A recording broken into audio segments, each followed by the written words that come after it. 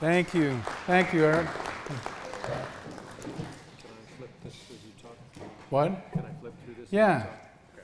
Shane wondered, I, scattered some of these around the room. I just had 30 in a box. If somebody didn't get one, Dan Olson just walked in, and Brooke Vasquez, they're in the Conservation District office and the Natural Resources Conservation Service, and the, he's got bukus of these if you want a hard copy.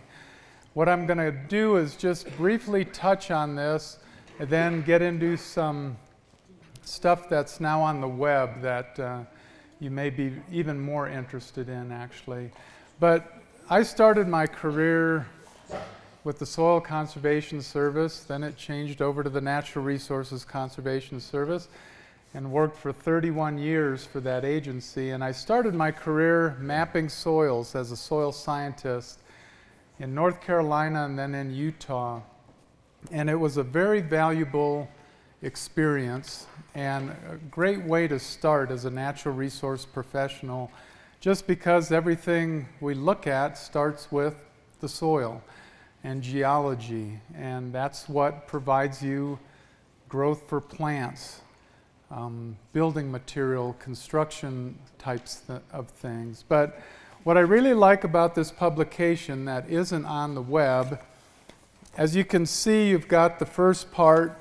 You can open up to a general soils map that is right in the beginning of all the aerial photography. And it, looking at it, it'll give you just kind of a real brief understanding of the Gunnison Basin.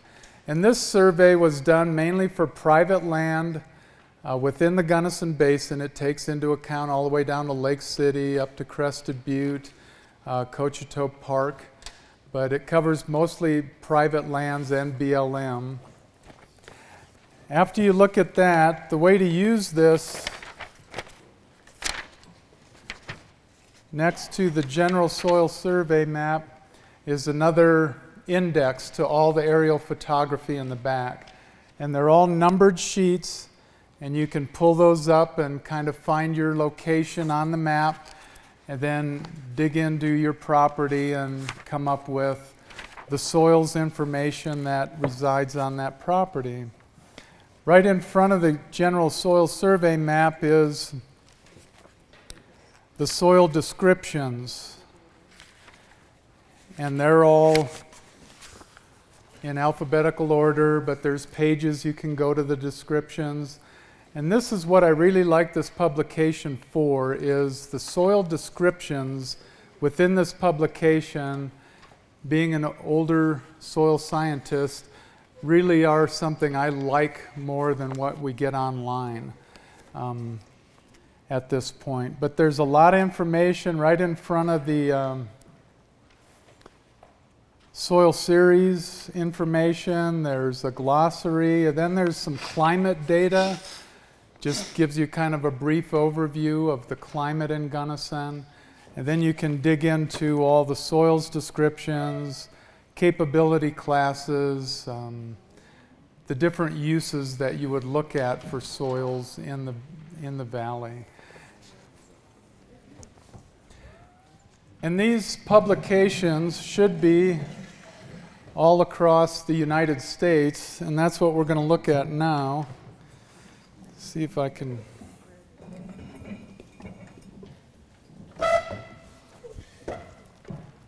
Make sure I talk loud enough and everybody hear me okay? So, what I did is this web soil survey, this made my life in the field office just amazingly more or less complicated. We used to, when we'd get a request from developers, the county, we'd have to take these publications. We had lots of maps in the office. We'd cut them up, we'd cut and paste and Xerox copy and put together a report. Now, you as an individual can go into, it's called Web Soil Survey. You can just Google and it comes up right away after I typed web soil. And this is essentially all this information, like I said, across the whole United States is online. And you just click this button to start.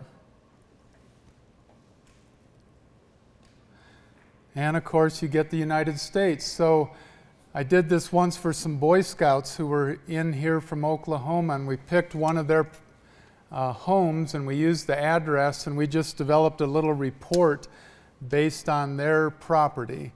But that's the way this can be used is you can just plug in an address and the map will zoom exactly to that address. You can go to the state and county if you know the soil survey area. That gets a little bit big.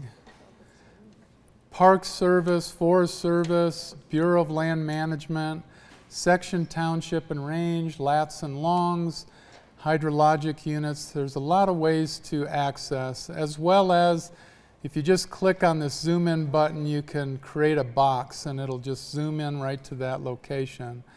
But what I'd like to do is just kind of give you an idea of the information in here.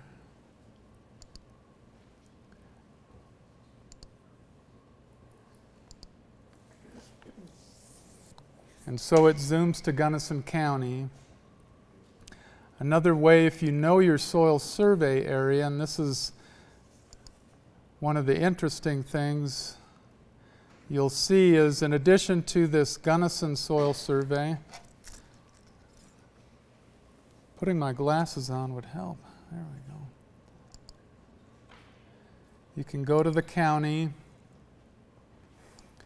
then you can see everything that's listed. There's a Cochetopa, Grand Mesa West Elk, the Gunnison area, Ouray area, Paonia, and Ridgway are all soil survey products that encompass Gunnison County. That information is held here, but let me go ahead and I'm going to just zoom in.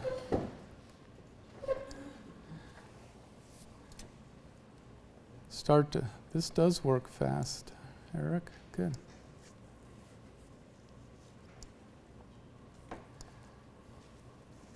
And then you can, there's a lot of ways to get around. There's a hand, allows you to just pan into an area.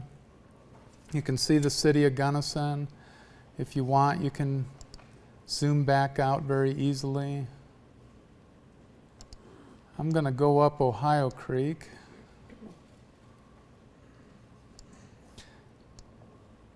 And most of the map products here, I think, are dated. They're the most recent that NRCS has. So these are probably 2015 aerial photography.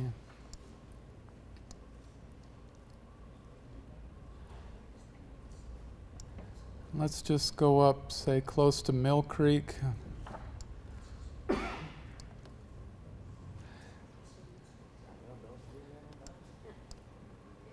And how you get started in here is this area of interest. And for people who've got the computer capability, you can actually, through geographic information system technology, you can add actual shape files that are created on your computer for a property, put those in, and it will create the area of interest for you directly from that but not having that available to us, we're going to go up here and you can have, there's two different ways to enter the area of interest.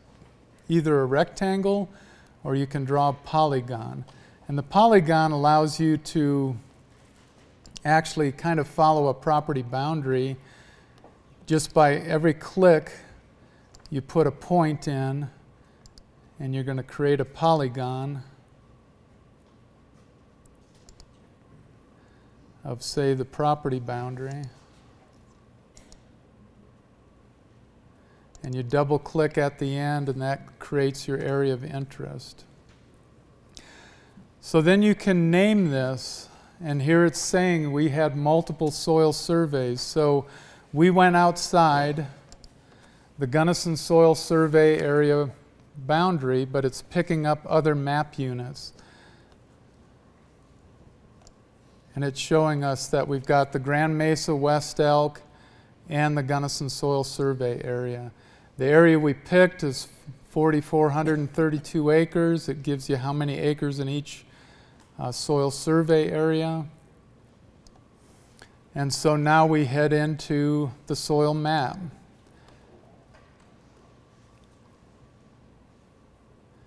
And it will create a soil map for you based on that boundary that you input. So, one of the, the most interesting things I found see, the shopping cart says free.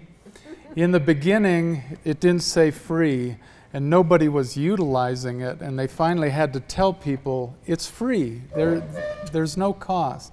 So every time you develop something, you click here, add to shopping cart, and you can name all these specific items that go with your report.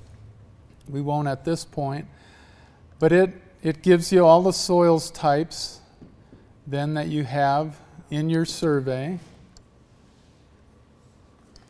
You can, um, by importing that into the shopping cart, we can look at and see what we have. And essentially, here to begin with, we've just got the soil map and information related to the soil map, soil survey map. So let's look at some of the information available to you. Building site development. So you want to know dwellings with without basements. And you can view the description. It's going to give you the actual description of what the, the rating is, or what the, um, well, yeah, the rating for this soil. But then if you view rating, it creates your report and it tells you what is the rating. Very limited. It could be based on slope, flooding, depth to saturation, shrink swell as a percent clay, um, all those kinds of things that engineers, architects need when um, providing you plans for, say, building a house. And again, you just add that to the shopping cart, and it goes in, and you're starting to build your report.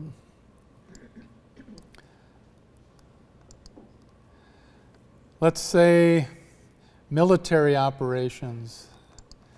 It gives you uh, trafficability for tanks and just depending on what you all want to do uh, anywhere across the country. Construction materials, a lot of that, gravel sources, topsoil sources for roads and development. A lot of what we'd use in the office was mainly land classification, ecological site names, or what we used to call range site descriptions. And it would give you the plant community that grows on your particular soils. Um, so if we view the rating for that, again, each soil type has a vegetative type associated with it that'll grow on it. And they're all named so you've got mountain meadow, subalpine loam, and some that don't are within irrigated land, so that doesn't have a, an ecological site maybe. Or it could be that it's forested, which is this grayish colored area up above. But there again, you would just, as you build a report, go up far enough. Add to the shopping cart. Oops. Add to the shopping cart, not look at the shopping cart.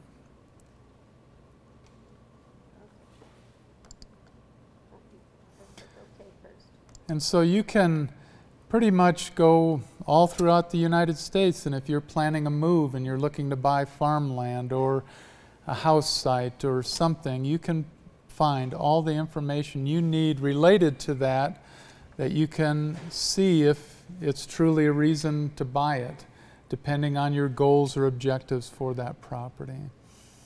Here again, there's uh, irrigated capability classes for the irrigated soils.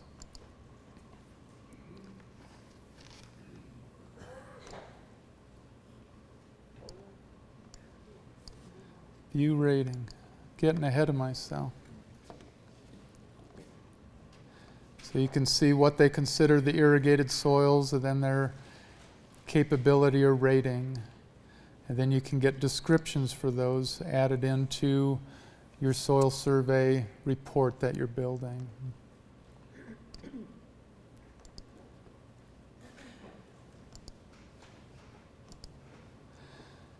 Soil health information, vegetative productivity. A lot of times we would use this for, you know, we're looking at a dry year. So, what is the range production going to be in an unfavorable year? And based on the ecological site descriptions, it's going to tell you the rating in pounds per acre per year production of that property.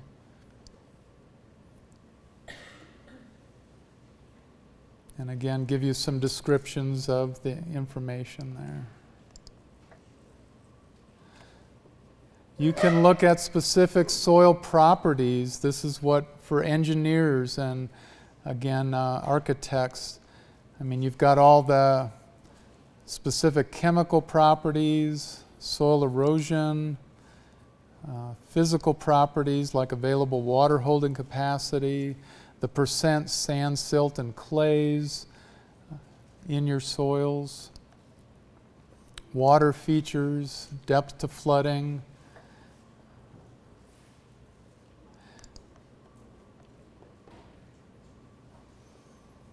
Under the ecological site assessments, you can there, there isn't information here specifically because they some of these ecological sites haven't been transferred from the old range site to the new type. But if you go into soils reports and you go to vegetative productivity, you can actually, if you click on range forest classification, I'm going to include minor soils because within each soil unit there are what they call minor inclusions of soils. And what it's going to give you is for that soil type, it's going to give you the vegetative plant community underneath that type. So, like Broad Canyon, which didn't have an ecological site description in the first reports, you can see why it's, it's a forested site, but here's the vegetation that you might find under that. And again, it gives you the production in favorable, unfavorable years and normal.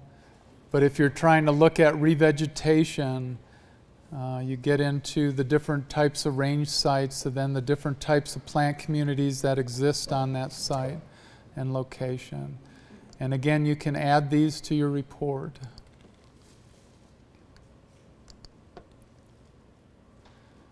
And I'm going to see how quickly this works. So we want everything. Let's even throw in a glossary.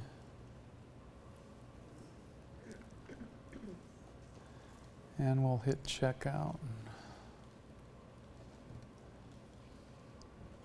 And what this is going to do, it's going to build a report similar to this. It's going to be your own little soil survey report for your property. And it's, like I said, it just changed what we did in the office. It made it so much simpler because we could, people could just go here immediately, and pretty soon we just lost that whole part of our workload that we had to do just because people had that information at their fingertips. I don't know how many times I'd go through this with people on the phone and this one older gentleman, he was trying to get it for his son and all he kept saying every time we looked at something was, wow, wow. Every time we turned a page or looked at something else, he was just really excited about it. Oh, I forgot to hit that button.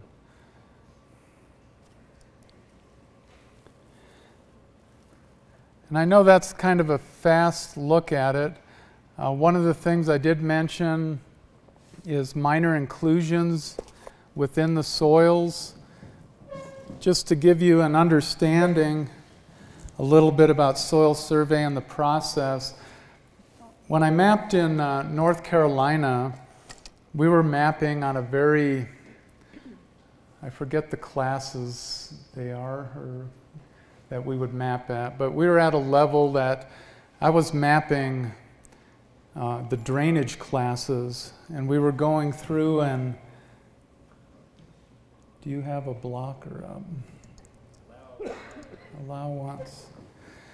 But we were mapping like feet, we were mapping drainage classes, well drained, somewhat poorly drained, poorly drained soils across the landscape. And it, um, it was a very intense survey, and it was for um, a high developed area. When you move to the western United States, because of the scale of the landscape, it was an, oh, it's orders. So we were order three, I think, in this soil survey.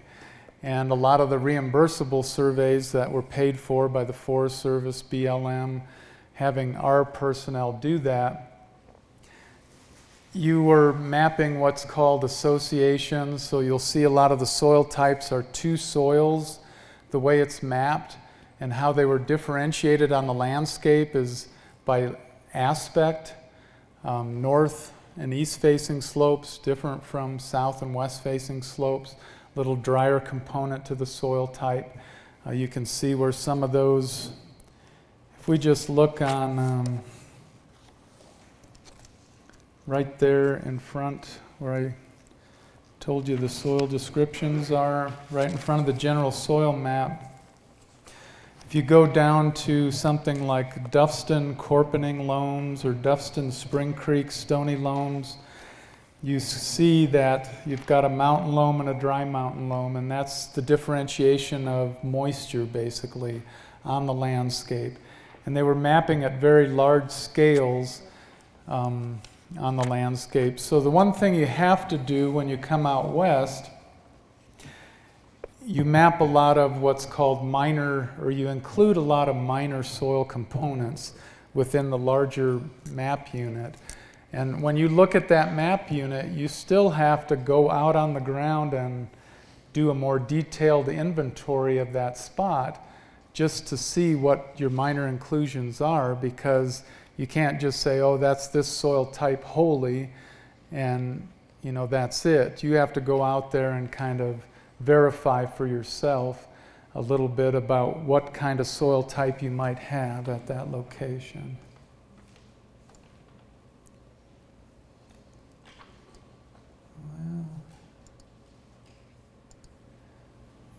Well, I guess that didn't come up, but one of the other options in the um, checkout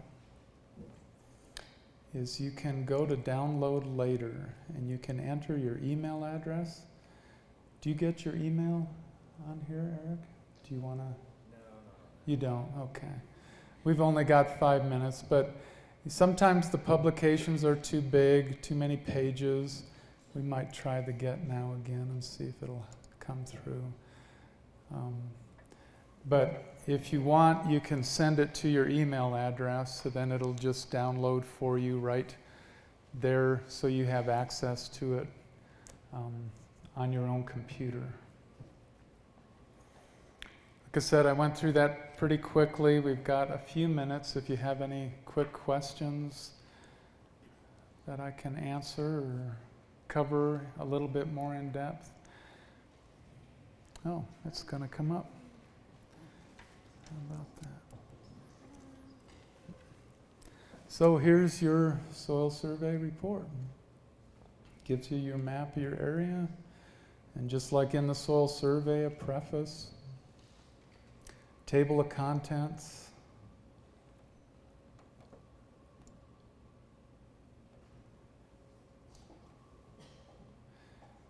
soil map, map legends. So it, it's a wealth of information and you know, a lot of people don't realize it's out there, and once you do, and if you're really working with the land at all, uh, this is a great tool at your um, fingertips to help you look at your land and evaluate it and come up with some thoughts or ideas about what you can do or can't do.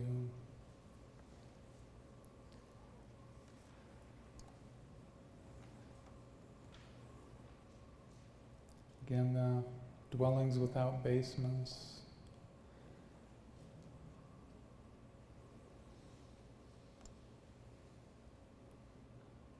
Guess I didn't look to see. Oh, it's 136 pages, and that's hardly hitting any of the information um, on a piece of property. So you can get some very detailed reports out of this.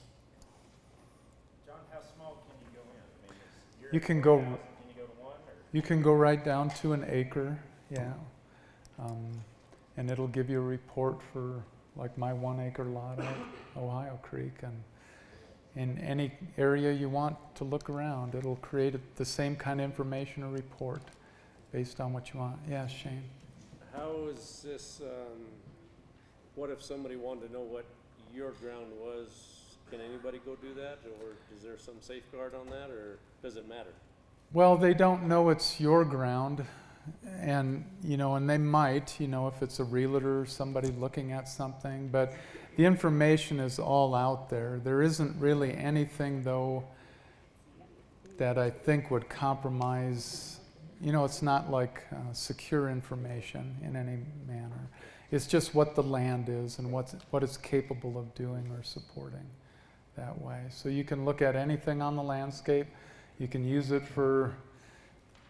I've sent a lot of people there who want to come to Gunnison elk hunting and they want to look at where to go and maps. Uh, some of the additional things I guess I didn't get into real quickly. If we go back to soil map.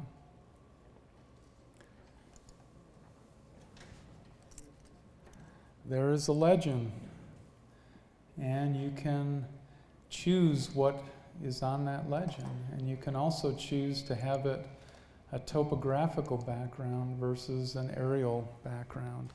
And so a lot of times people just look at topos easier than aerial photography.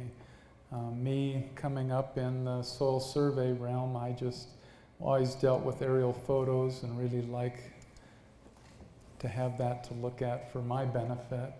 Um, you know, and after you live in this valley for 32 years, you get a feel for soil types and how they're where they're located. A lot more clayer soils to the north, sandier soils to the south, granitic. Uh, there's so many neat ecosystems differences within this basin that it's it's been a fun place to work and do this kind of stuff with people and what's neat i found out that dan who is now the district conservationist in the field office here he uh, was a soil scientist too. So somebody who can take over these kind of presentations eric. Instead of this old guy up here.